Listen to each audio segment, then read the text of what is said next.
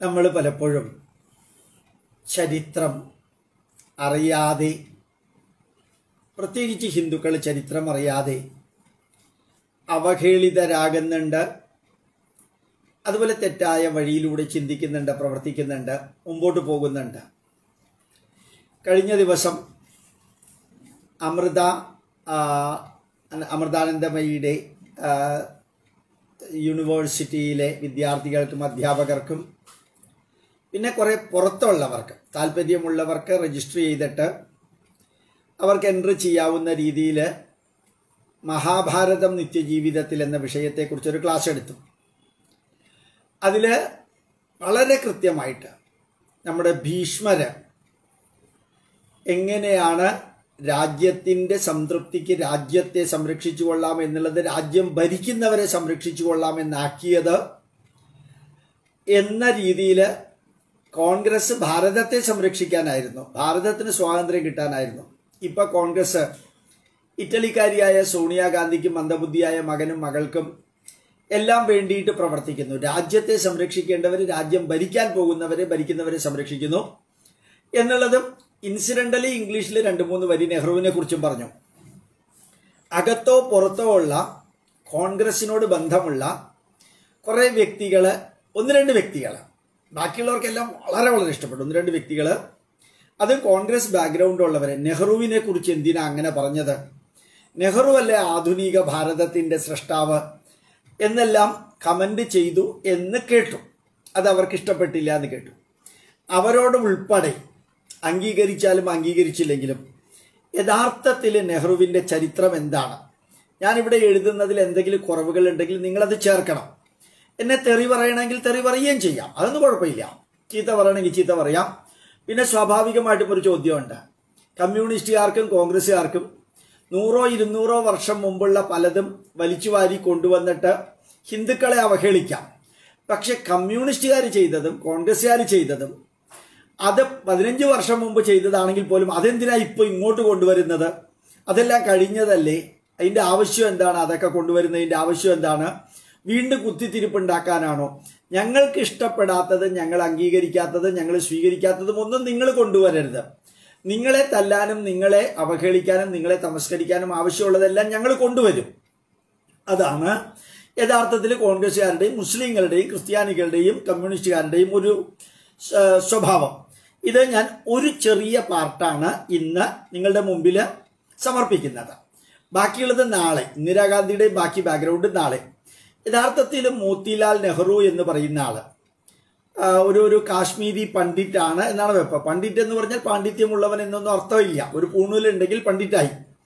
ഞാൻ ഹൈദരാബാദിലെ R R ലാബിൽ വർക്ക് ചെയ്തിരുന്ന സമയത്ത് അവിടെ ഒരു പ്യൂൺ ഉണ്ടായിരുന്നു.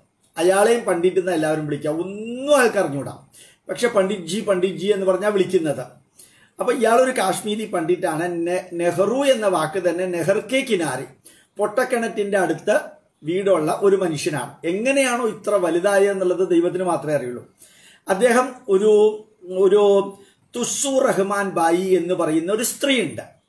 അവരുടെ ഭർത്താവ് ഭർത്താവ് മുബാറക് അലി എന്നാണ് ആദ്യ ഭർത്താവ്. മുബാറക് അലി എന്ന് പറയുന്ന ഒരാളുടെ കമ്പനിയിൽ ജോലി ചെയ്യുന്ന ആളായിരുന്നു മോത്തിലാൽ നെഹ്റു. ഈ മുബാറക് അലി എന്ന് പറയുന്ന ആൾ പെട്ടെന്ന് അവിചാരിതമായിട്ട് മരിച്ചു. അവിചാരിതമായിട്ട് മരിച്ചു. അപ്പം മോത്തിലാൽ നെഹ്റു നേരത്തെ തന്നെ വിവാഹം കഴിച്ചിട്ടുണ്ട്. നേരത്തെ വിവാഹം കഴിച്ചിരിക്കുന്നത് ശരിക്കും ഔദ്യോഗികമായിട്ട് മോത്തിലാൽ നെഹ്റു വിവാഹം കഴിച്ചിരിക്കുന്നത് സ്വരൂപ് റാണി എന്ന് പറയുന്ന വ്യക്തിയാണ്. സ്വരൂപ് റാണി. അപ്പൊ സ്വരൂപ് റാണി ഹിന്ദു വിവാഹമാണ് കഴിച്ചിരിക്കുന്നത്. അപ്പൊ സ്വരൂപ് റാണിക്ക് രണ്ട് മക്കളുണ്ട്. വിജയലക്ഷ്മി പണ്ഡിറ്റ് എന്നും കൃഷ്ണ എന്നും പറയുന്ന രണ്ട് മക്കളാണ് ഒഫീഷ്യലി വിവാഹം കഴിച്ചിരിക്കുന്ന ഒഫീഷ്യലി വിവാഹം നെഹ്റു വിവാഹം കഴിച്ചിരിക്കുന്ന സ്വരൂപ് റാണി എന്നുള്ളതിൽ രണ്ടാമത്തത് തുഷു റഹ്മാൻ ബായി താൻ എവിടെയാണോ പ്രവർത്തിച്ചുകൊണ്ടിരുന്നത് അവർ മരിച്ചപ്പോഴത്തേക്കും ആ തുസു റഹ്മാൻ ബായിയെ മോത്തിലാൽ നെഹ്റു വെപ്പാട്ടിയാക്കി വെച്ചു. ആ തുസു റഹ്മാൻ ബായി മോത്തിലാൽ ശമ്പളം പറ്റിയിരുന്ന തൊഴിലുടമയുടെ ബായിയുടെ ഇദ്ദേഹം ദുരൂഹ സാഹചര്യത്തിൽ രണ്ട് മക്കൾ അതിൽ ഒന്നാമനാണ് ജവഹർലാൽ നെഹ്റു എന്നുള്ളത് നമ്മൾ അറിയുക. തുസു റഹ്മാൻ ബായിയുടെ ബായിയിൽ ഇദ്ദേഹത്തിനുണ്ടായ മോത്തിലാൽ നെഹ്റുവിനുണ്ടായ മകനാണ്. യഥാർത്ഥത്തിൽ ആ, ജവഹർലാൽ നെഹ്റു. പിന്നെ ഇതേ മോത്തിലാൽ നെഹ്റു ഒരു ഇറാനിയൻ സ്ത്രീയെ വെപ്പാട്ടിയാക്കി വെച്ചിരുന്നു. അതിലുണ്ടായതാണ് മോത്തിലാൽ നെഹ്റുവിന്റെ തന്നെ രക്തത്തിലുണ്ടായ ഇറാനിയൻ സ്ത്രീയിലുണ്ടായ വ്യക്തിയാണ് മുഹമ്മദ് അലി ജിന്ന. അതേപോലെ കാശ്മീരിയിലെ ഒരു സ്ത്രീ ഒരു മുസ്ലിം സ്ത്രീ ഇവരുടെ വീട്ടിൽ ജോലിക്കാരിയായിട്ടിരുന്നു. ജോലിക്കാരിയായിട്ട്. അതിൽ മോത്തിലാൽ നെഹ്റുവിന് ഉണ്ടായതാണ് ഷെയ്ഖ് അബ്ദുള്ള. ഇത്രയും മാത്രം എന്തെങ്കിലും ഒന്ന് മനസ്സിലാക്കാം. നാളെ ഇവരുടെ കുട്ടികളുടെ ചരിത്രമൊക്കെ നമുക്ക് പറയാം. കാരണം ഇത് നമ്മൾ അറിയണം. ആരെയും അവഹേളിക്കാൻ വേണ്ടിയിട്ടോ ചരിത്രം തിരുത്താൻ വേണ്ടിയിട്ടോ അല്ലെങ്കിൽ ഇതൊക്കെ എന്തിനാ കുത്തിപ്പൊക്കുന്നത് എന്ന് എന്ന് നമ്മൾ വളരെ ഇതായിട്ട് ചിന്തിക്കുന്നതിനോ അല്ല. സത്യം എന്ന് പറയുന്നത് മോത്തിലാൽ നെഹ്റു എന്ന കാശ്മീരി പണ്ഡിറ്റ് എന്ന് നമ്മൾ പറയുന്ന വ്യക്തിയുടെ അഞ്ച് ഭാര്യമാര്. അതിൽ ബാക്കി രണ്ടുപേരുടെ ഞാൻ പറഞ്ഞിട്ടില്ല. അവരൊക്കെ മുസ്ലിങ്ങളാണ്. അവരുടെ മക്കളെ കുറിച്ചൊന്നും നമുക്ക് തൽക്കാലം അറിയേണ്ട ആവശ്യമില്ല. ഡീറ്റെയിൽ ഉണ്ട്. അതിൽ സ്വരൂപ റാണിയിൽ ലക്ഷ്മി പണ്ഡിറ്റ് കൃഷ്ണ എന്ന് പറയുന്ന രണ്ട് ആൺകുട്ടികൾ അല്ല രണ്ട് സ്ത്രീ ഒരു രണ്ട് കുട്ടികൾ ഒന്ന് സ്ത്രീയും ഒന്ന് പുരുഷനും. പിന്നെ തുസു റഹ്മാൻ ബി വി അബായി അവരിൽ നിന്നുണ്ടായതാണ് ജവഹർലാൽ നെഹ്റു. അപ്പൊ ജവഹർലാൽ നെഹ്റുവിന്റെ അമ്മ ആരാണെന്ന് അറിയാലോ? ജിന്നയുടെ അമ്മ ഇറാനിയൻ ലേഡിയാണ്. Iranian lady. അച്ഛൻ മോത്തിലാൽ നെഹ്റു തന്നെ.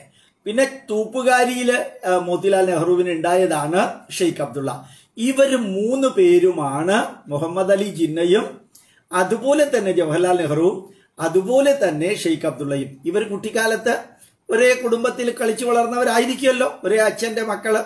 അവരാണ് ഭാരതത്തെ മൂന്നായിട്ട് പങ്കുവെച്ചത്. ഇത്രയെങ്കിലും നമ്മൾ അറിയണം. ഇവരാണ് ഒരു ഇറാനിയൻ ലേഡിയുടെ മകനാണ് പാകിസ്ഥാൻ ഉണ്ടാക്കിയ. പാകിസ്ഥാന്റെ ജനയിതാവ് പാകിസ്ഥാന്റെ രാഷ്ട്രപിതാവ്. അതുപോലെ ഷെയ്ഖ് അബ്ദുള്ള അവരവർക്ക് വേണ്ട രീതിയിൽ വളരെ ഭംഗിയായിട്ട് വളരെ ഭംഗിയായിട്ട് തന്നെ ജമ്മു കാശ്മീരിനെ തന്റെ അതിന്റെ പ്രധാനമന്ത്രി പദത്തിൽ തന്നെ ഇരിക്കേണ്ട. അപ്പൊ യഥാർത്ഥത്തിൽ ഈ ഈ മൂന്ന് പേരുടെയും അച്ഛൻ ഹിന്ദുവും അത് മൂന്ന് പേരുടെയും അമ്മ മുസ്ലിമുമായിരുന്നു. അപ്പൊ യഥാർത്ഥത്തിൽ ഈ മുപ്പത് വകുപ്പ് മുപ്പത് എ വകുപ്പ് ഇതെല്ലാം നമ്മൾ എഴുതി ചേർത്ത് ഹൈന്ദവ ജനതയെ തകർത്ത് തരിപ്പണമാക്കി ഭൂരിപക്ഷത്തെ വർഗീയത ഹിന്ദു എന്ന് പറഞ്ഞാൽ ഹിന്ദു ധർമ്മം പഠിപ്പിച്ചാൽ ഹിന്ദു ധർമ്മം ഉയർത്തിയാൽ അപ്പോ തികച്ചും അത് വർഗീയമാണ് എന്ന ഇംപ്രഷൻ ഉണ്ടാക്കി Jawaharlal Nehru University J N യുവിനെ ഭാരതത്തെ തകർക്കാൻ വേണ്ടി ഉണ്ടാക്കിയത്. എന്തിനാണ് എന്നുള്ളത് മനസ്സിലാക്കാം. സ്വാഭാവികമായിട്ടും വിഗ്രഹാരാധകരോട് മുസ്ലിങ്ങൾക്ക് എക്കാലവും എതിർപ്പുണ്ട്.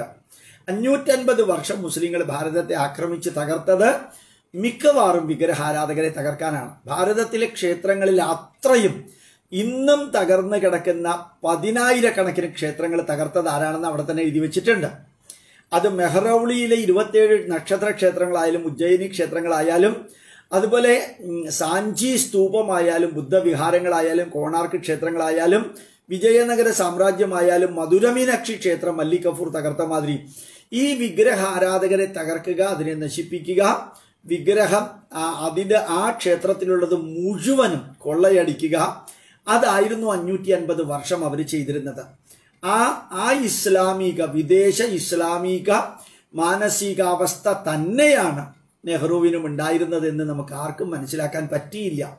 അത്രയും ഗംഭീരമായ പബ്ലിസിറ്റിയാണ് നെഹ്റുവിന് നെഹ്റുവിന്റെ കുടുംബത്തിനും കിട്ടിയത്. സുഭാഷ് ചന്ദ്രബോസിനെയും അതുപോലെ തന്നെ അതുപോലെ തന്നെ അതുപോലെ തന്നെ ഇങ്ങനെയുള്ള കാര്യങ്ങൾ സംഭവിക്കുമ്പോഴത്തേക്കും നമ്മൾ ഇത് അറിയണം. ഇനി നിങ്ങൾക്ക് നിങ്ങളുടെ കമന്റ് ഇതിനകത്ത് എഴുതാം.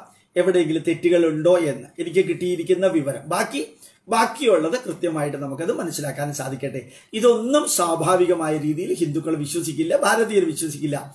വിശ്വസിപ്പിക്കാത്ത രീതിയിലാണ് കാര്യങ്ങളെല്ലാം ചെയ്തിരിക്കുന്നത് എന്നുള്ളതാണ് അതിന്റെ പ്രത്യേകത. ചരിത്രം വരെ തിരുത്തി എഴുതിയിരിക്കുന്നത് ഇതേ രീതിയിലാണ് എന്നുള്ളത് മനസ്സിലാക്കാൻ സാധിക്കട്ടെ. പ്രണാമം.